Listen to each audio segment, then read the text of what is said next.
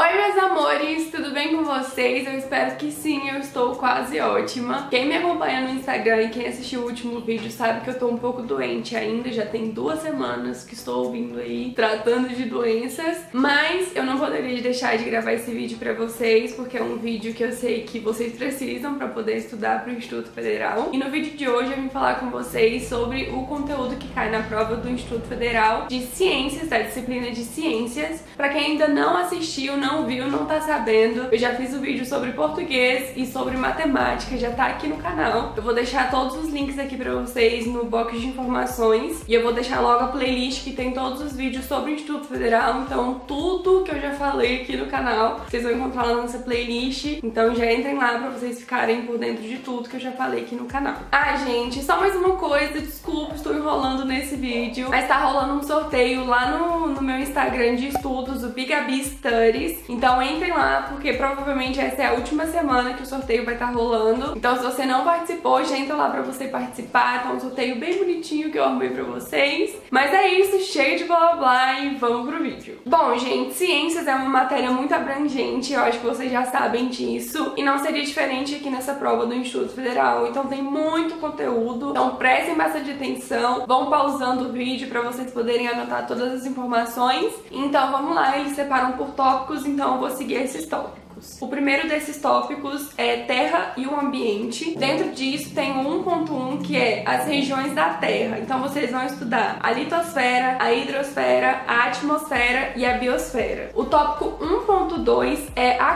crosta terrestre. Dentro disso vocês vão estudar as rochas e os solos. E aí dentro das rochas e solos vocês vão estudar a composição, os tipos e as propriedades das rochas e dos solos. O tópico 1.3 é hidrosfera. Vocês vão estudar a água, então dentro da água vocês vão estudar a composição, os tipos e os ciclos da água. Vocês também vão estudar a utilidade da água, a poluição da água, o tratamento de água e o tratamento de esgoto. Quem faz química ou, sei lá, já teve uma matéria dessa ou vai fazer no Instituto Federal vai saber que vocês vão estudar isso bastante. Tem umas matérias separadas só pra isso mesmo. Mas é isso. O tópico 1.4 é a atmosfera. Então dentro disso vocês vão estudar a existência do ar e e a qualidade do ar e também vou estudar o ar puro e a poluição da atmosfera. O tópico 1.5 é biosfera, então vocês vão estudar os principais ecossistemas. Quais são esses ecossistemas? É o cerrado, o manguezal, a caatinga, a mata atlântica, a floresta amazônica e o pantanal. E além disso tudo, vocês também têm que estudar o reflorestamento. E aí sim a gente encerra o tópico 1 e agora vamos passar para o tópico 2. O tópico 2 é os seres vivos. 2.1 2.1, o que, que vocês vão estudar? Os vírus. 2.3, vocês vão estudar os reinos, que é o reino monera, o reino protista, o reino dos fungos, o reino das plantas e o reino dos animais, são os cinco reinos. Além disso, 2.4, vocês vão estudar os seres vivos e o meio ambiente. Então, dentro disso, vocês vão estudar as cadeias alimentares e as relações ecológicas entre esses reinos. E agora vamos passar para o tópico 3. O tópico 3 é o corpo humano. Dentro disso, vocês vão estudar 3.1, as células e os tecidos. Gente, eu odiava essa matéria. Mas é, não é tão difícil, não é difícil. 3.2, os sistemas do corpo humano. Então vocês vão estudar o sistema digestivo, o sistema respiratório e o sistema circulatório. 3.3, vocês vão estudar a reprodução humana. E aí já fecha o terceiro tópico. Agora vamos pro quarto. O quarto tópico é o maior de todos, se eu não me engano, e é tecnologia e sociedade. Dentro desse tópico, vocês vão estudar 4.1, as propriedades da matéria. Então vocês vão estudar os estados físicos, as mudanças de estado, a classificação de sistemas químicos, são substâncias puras, as misturas, as substâncias simples e compostas, as fases, né? Os métodos de separação de misturas e os fenômenos físicos e químicos. E esse é só o 4.1. Agora passando pro 4.2, vocês vão estudar o átomo, e aí dentro disso vocês vão estudar a estrutura do átomo, né? A estrutura atômica, o número atômico e o número de massas e as ligações químicas. O tópico 4 4.3 vocês vão estudar movimento e força, então dentro disso vocês vão estudar posição, deslocamento, velocidade e aceleração e as leis de Newton. Gente, sinceramente, eu não me recordo de ter estudado isso no nono ano. mas provavelmente eu estudei, só porque eu não lembro. Se você ainda não estudou, já vou dando uma dica, não vai ser uma coisa tão aprofundada, não precisa ficar com medo de não conseguir fazer a prova. Estudem pelo menos por cima, pelo menos os conceitos e tal, pra você já poder ter uma base pra fazer a prova. Não se assustem. No tópico